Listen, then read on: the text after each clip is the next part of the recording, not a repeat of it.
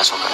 Di sana aku ketemu ini. Dan di sini Jeffrey bercerita kepada Novia bahwa tadi dirinya dari Taman Asoka. Nice to meet you. Kemudian Jeffrey pun mengatakan kepada Novia bahwa dia menemukan kunci dengan gantungan Nice to meet you. Apa kamu tahu sesuatu tentang ini? Dan kemudian Jeffrey pun bertanya kepada Novia apakah Novia mengetahui sesuatu tentang hal ini.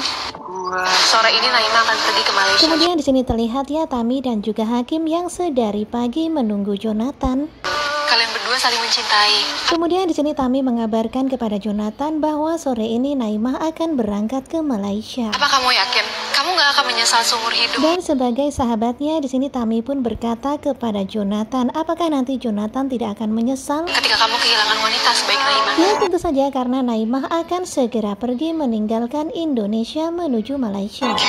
Aku minta tolong banget sama kamu. Kemudian di sini terlihat ya Michael yang sedang menelpon Novia dan tampaknya dia sangat membutuhkan bantuan Novia. Bantuin aku ya, please. Nah, di sini terlihat ya Michael sangat-sangat meminta tolong kepada Novia.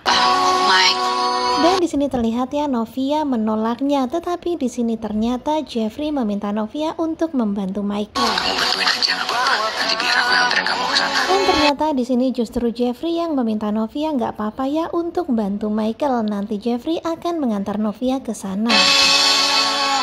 Dan tentu saja Novia jadi heran ya kenapa tiba-tiba Jeffrey berubah seperti ini. Ya sepertinya Jeffrey punya sesuatu ya punya rahasia. Nampaknya dia akan melakukan sesuatu hal yakni memata-matai Michael. Nampaknya di sini Jeffrey sudah mulai mencurigai Michael ya namun dia diam-diam aja ya nggak ngomong ke Novia.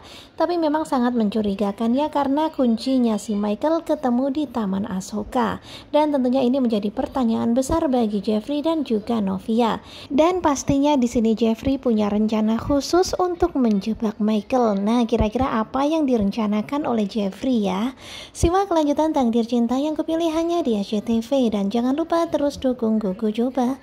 Terima kasih buat kalian yang selalu setia dan nantikan video-video selanjutnya. Terima kasih.